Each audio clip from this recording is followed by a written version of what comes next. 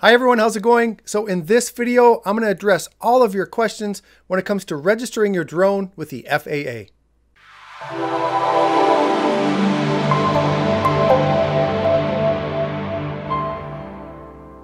Hi everyone, I hope you're having a great day.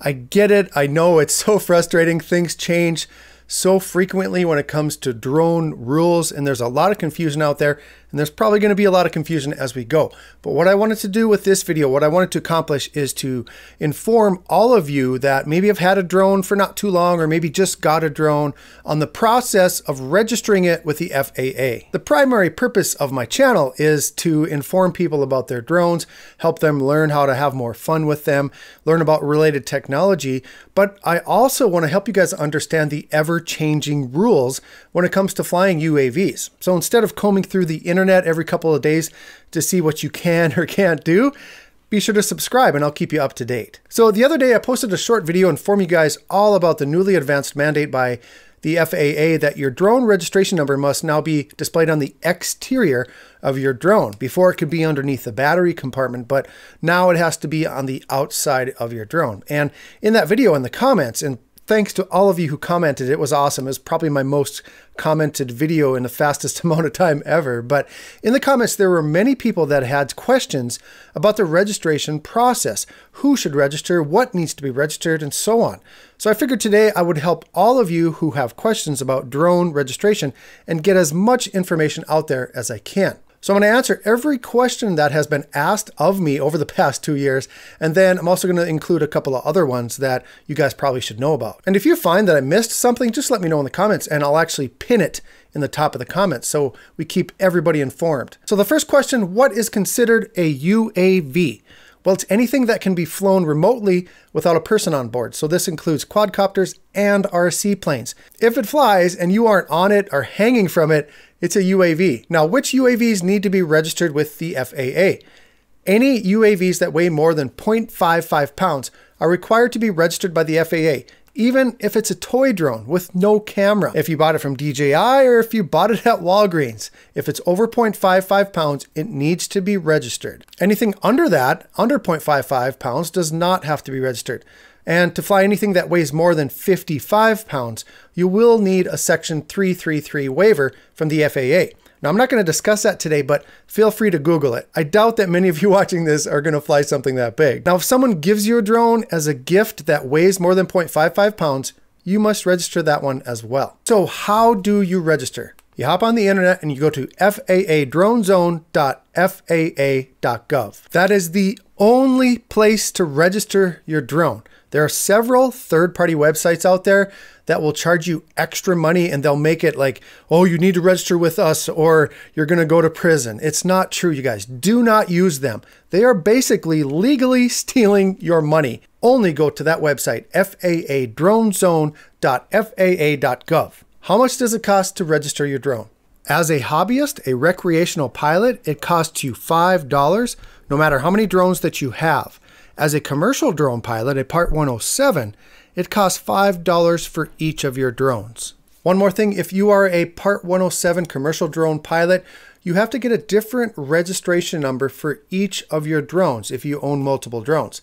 On the other hand, if you're a recreational pilot, you can use that same number for each of your drones. So what happens after you register? First of all, you'll be given a certificate number as well as a small UAS certificate of registration that will be emailed to you. And if you ever lose that for some reason, you can always log into your account on the FAA website to print additional cards.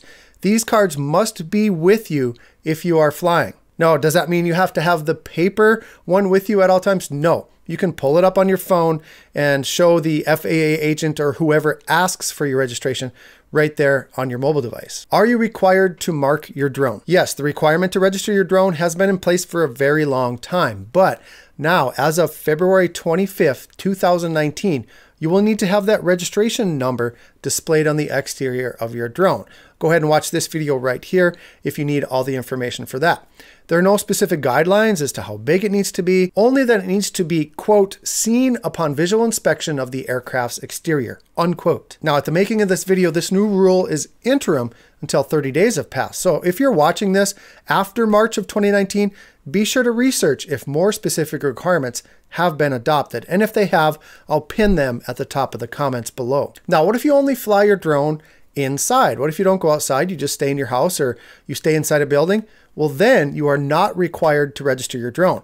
But the day you take that drone outside and launch it off the ground, then it needs to be registered. What is the penalty if the FAA finds that I am not registered? Now, yes, I will agree with anyone that says, what are the chances of that happening? Probably not very likely.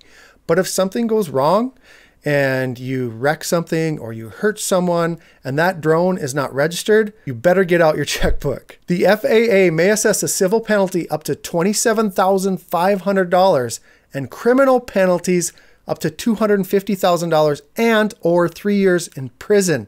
People, spend the $5, please. Now, how old do you have to be to register a drone? Well, you have to be 13 years of age or older.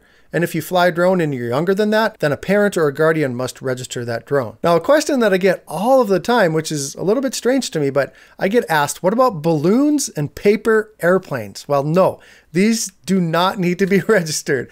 These do not meet the definition of unmanned aircraft system. There's no communication between them.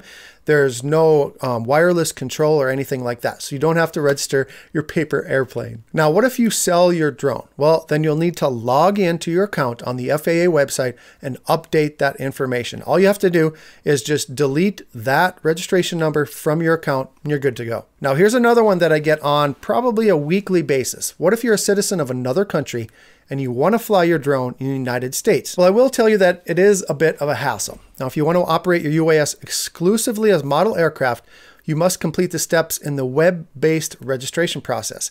And you have to obtain what's called a recognition of ownership. This recognition of ownership, it's required by the Department of Transportation to operate uh, model aircraft in the United States. Now, if you want to operate your UAS as a non-model aircraft, you must register your UAS in the country in which you're eligible to register and then obtain operating authority from the Department of Transportation when you get here. That website can only be accessed from a computer that is located in the United States. So that recognition of ownership needs to be obtained as soon as you arrive in the United States. So that's pretty much everything you guys have asked me over the past two years, and in particular the last two weeks, plus a couple of extra bonus ones. The bottom line, you guys, register your drone. It's very inexpensive. It's the law, and it's the responsible thing to do. But if you have 300 grand to spare in the event that you get caught, then by all means, skip it. So I hope I did give you something of value today. If I did, please click on that thumbs up. Also share this video with other drone enthusiasts that you might know because there is a lot of uncertainty out there, especially as the rules are changing on a regular basis. And like I said, I'm going to keep you guys up to date. You know, if there's breaking news or something like that, I certainly will make a video. So be sure to subscribe so you don't miss any of that. I want to thank you guys sincerely for watching today. And as always, fly safe and fly smart.